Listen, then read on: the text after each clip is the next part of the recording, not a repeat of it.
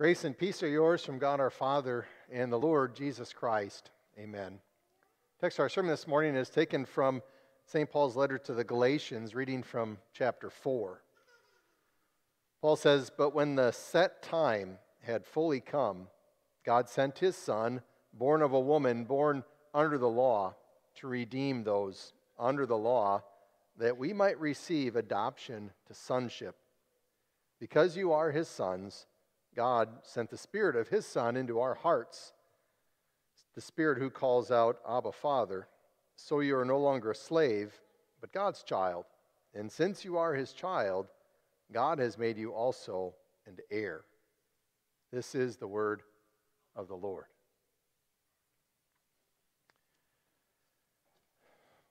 What change are you ready for this year? There are three areas uh, that I'd like to see some change. First is personal.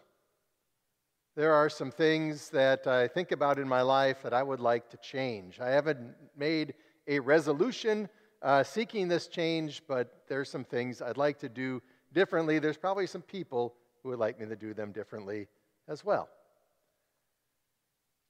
Change in church. I'd like to see some things different.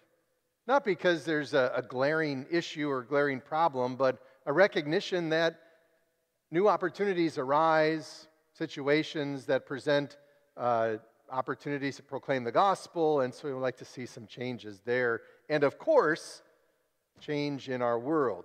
And we could go on and on and on about all the things we would like to see changed. I don't think I'm alone. I think those three areas are kind of common to people today, especially Christians, as we evaluate our life and our congregational life and our Christian life in this world, to see some change. But none of us are so naive as to think the change from 21 to 22 means that everything's going to be great. Everything's just going to automatically go the way we plan it or the way we think it should go. We can look at history and realize it's not the case. Our own history. We've been through this before, thinking about change in our own life, and somehow it doesn't go the way we had planned. In church, in our country, we know that history teaches us that things don't change a couple months ago, we were doing a Bible study on Sunday morning on the Old Testament book of Judges. And, and the very premise of that book is God's people just didn't change. The same problems kept coming back. And That's not just true of Old Testament Israel, it's true of God's people today. But when you get to the end of a year and you start a new year, think about it. You think about change.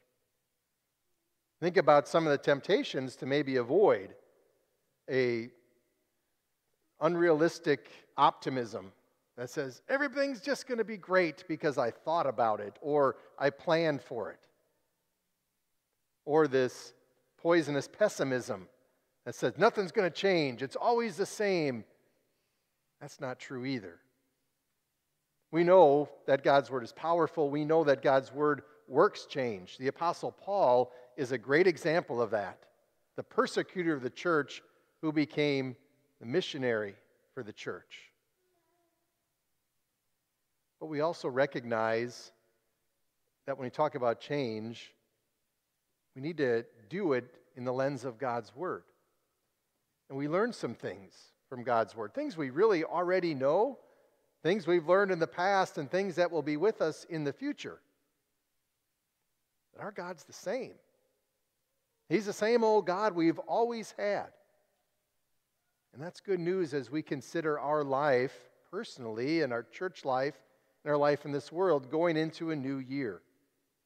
We can expect the same things from our God next year the same powerful gospel and the same blessing of living daily in His grace. And we will consider that thought as we study these verses from St. Paul to the Galatians this morning. It's a good place to talk about change. It's important for us to understand a little bit about the congregations that Paul was writing to and some of the challenges they were facing. These Galatian churches, and there are a number of congregations that Paul was writing to, were churches that he started on his first mission trip in the area of modern day Turkey. Congregations in Lystra and Derbe and Iconium and Antioch.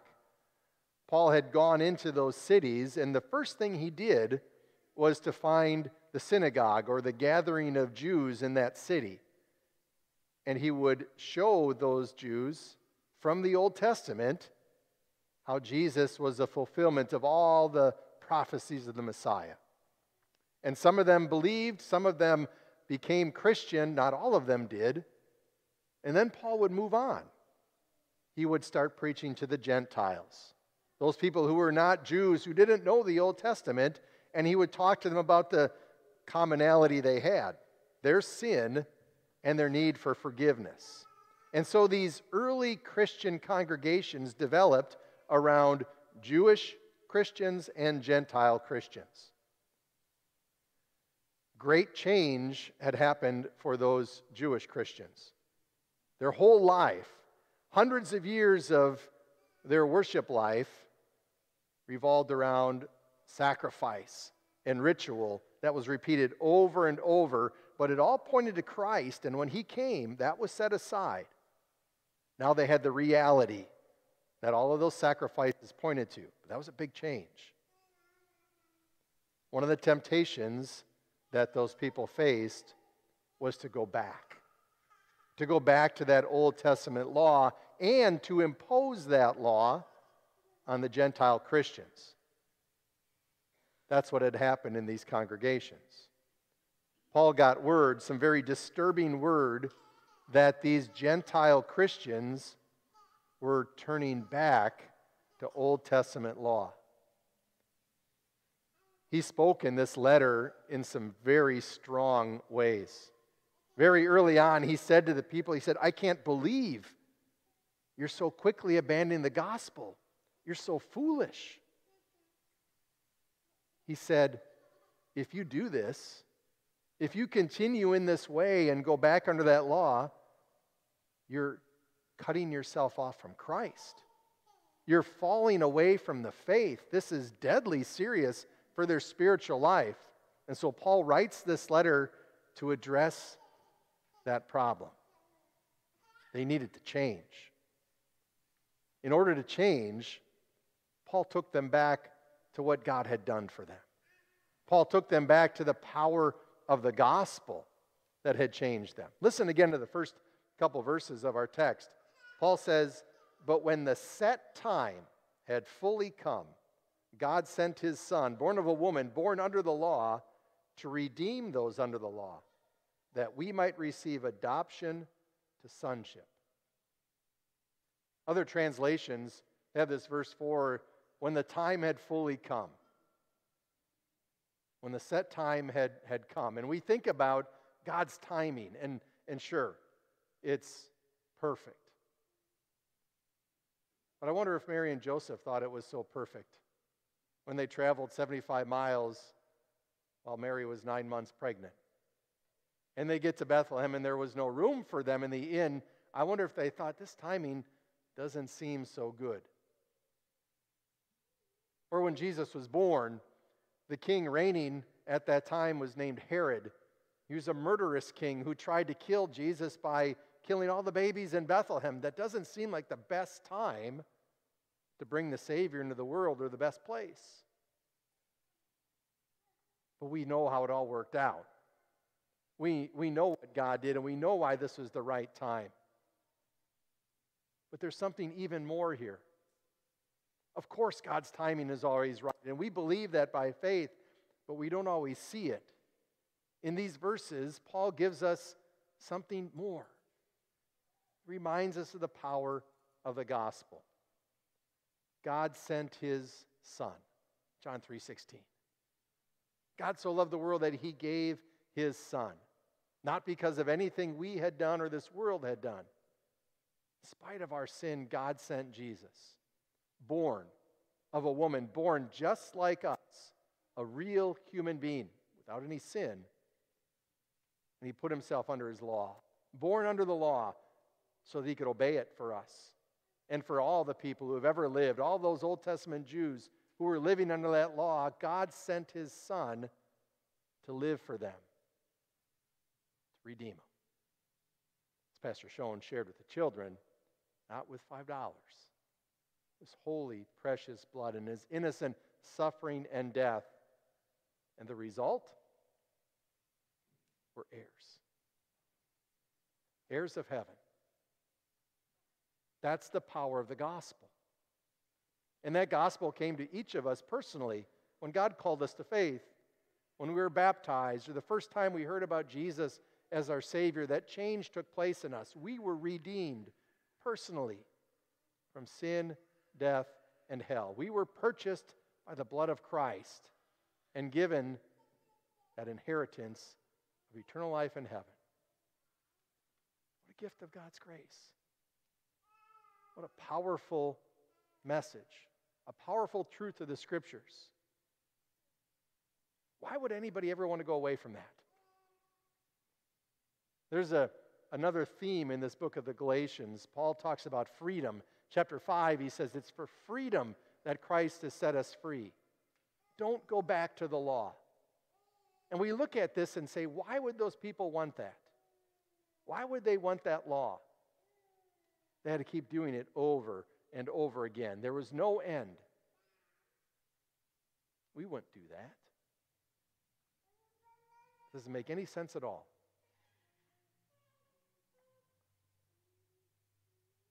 When we think about change, change in our own life, we could probably come up with a pretty long list. Not that we're going to share with anybody, in our own mind. The last couple of years have given people in general opportunity to reflect more, I think. When you're alone or not able to do the things you want to do, you, you reflect on your life. See, there's a lot to change.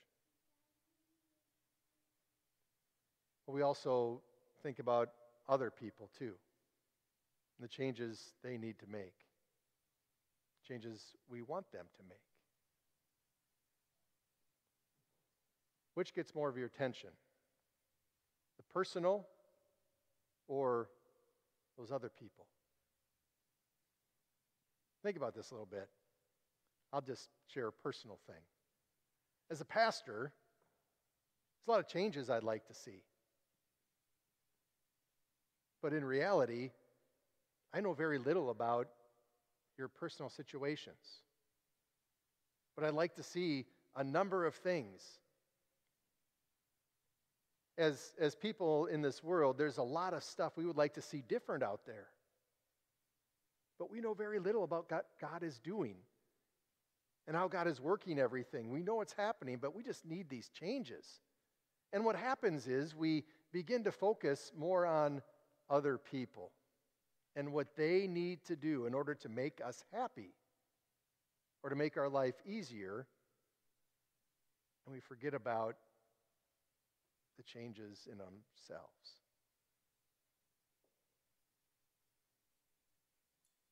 There's a lot of different ways to consider this, and maybe this is helpful. Is the change we're looking for something that will bring glory to God, or something that will just make our life more comfortable or easier or remove a problem. Maybe we don't have to think about it too much to realize that a lot of what we want to happen doesn't really involve us, it's about other people.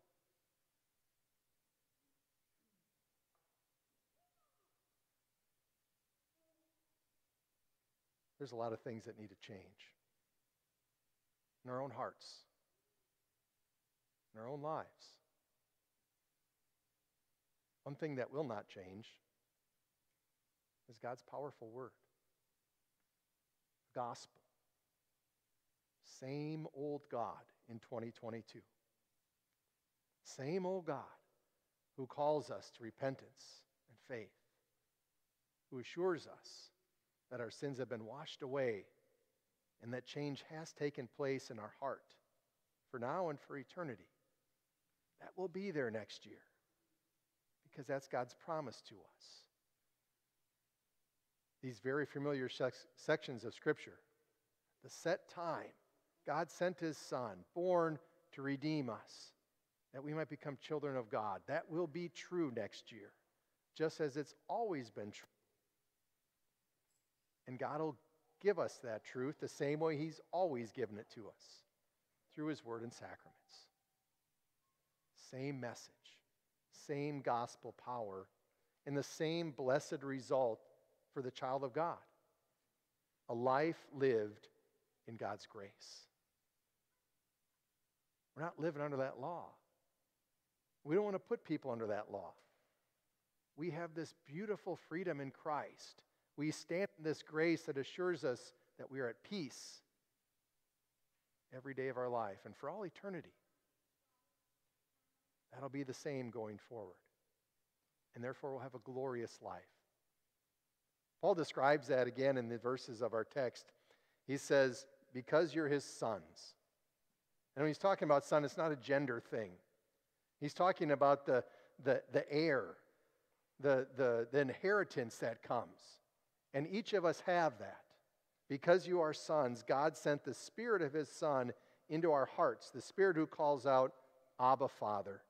So you are no longer a slave, but God's child. And since you are His child, God has made you also an heir. The Old Testament Jews who lived under that law still had God's grace. The Old Testament is a, a continuing example of God's grace to his people who, who went in the other direction, but God always brought them back and God always kept his promise. But they were still minor children. They weren't full grown adults. They were living under the supervision of the law. And the purpose of that law was to lead them to Christ. And when he came, the law was gone. The full rights of sons was theirs by trusting in Jesus. They had everything. That's what we have. We have full rights. We have the inheritance. Heaven is ours right now. And how do we see that in the midst of all the things that need to change in our lives, in our families, in our workplace, in our world? We see it through the Spirit who gave it to us, who Jesus gave to us the Spirit who is in you, who dwells in your heart because you're a child of God. All of those powerful gospel promises assure you that the Holy Spirit is in you. And Paul describes what he does the Holy Spirit who, who longs to speak to the Father. The Holy Spirit says, Abba, Father, who knows God listens and knows God answers those prayers the Holy Spirit who assures us of our inheritance. No matter what we've done, no matter what changes we failed to make again this year, we're dearly loved, forgiven children of God. And the Holy Spirit, through baptism and through the Lord's Supper and through His powerful word, assures us that we stand and live in that grace. We don't need any changes. We need the same old God and the same promises that have always been there. And that really sets us free. It really sets us free to, to think honestly about our own life and what changes to make.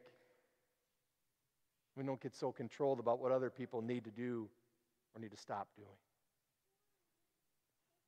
About a year ago, I was taking a online class on addiction counseling and uh, the class read a lot of different books on, on different counseling methods, some written by secular people and, and some by, by pastors and, and religious leaders. And there was one book I read, and a pastor who wrote the book told a story uh, about a, a member of his congregation that came to him for some marriage counseling. And she really didn't want counseling, she just wanted authorization to get divorced. She said, I'm done. And she had reason. Her husband was doing some things shouldn't be doing. And he listened to her and acknowledged, yeah, some changes need to happen. Then he challenged her, said, Why don't you make some changes first? Before we give up on this marriage, why don't you make some changes? Live in love and forgiveness and service. And don't let your love and forgiveness and service be dependent upon what somebody does or doesn't do. Just live the life God has called you to. So she left, tried it. She made a big change. Came back, no longer wanting divorce, said, I think it's going to work out. Something changed. Her own heart and life, and her husband's. Still had challenges and still had issues, but that realization came hey, I need to make some change too. When we live by the power of the gospel, when we live in the grace of God that is ours no matter what's going on around, and that's the way, and that's the life God has given us, we really don't want that to change. We want that same gospel and that same grace. And we have it. So, whatever the next year brings, whatever cross God has in mind for us, as we sang right before the sermon this morning, we got the same God. And He's not going to change. And that's His promise to us. In the book of Malachi, He says, I, the Lord, do not change. So you, O descendants of Israel, are not destroyed. The word of the Lord abides forever. Same God going to the next year. Same gospel power, same life in His grace. It's going to be a good year. It's going to be a joyful year because our God is going to be with us, just as He always has. Amen.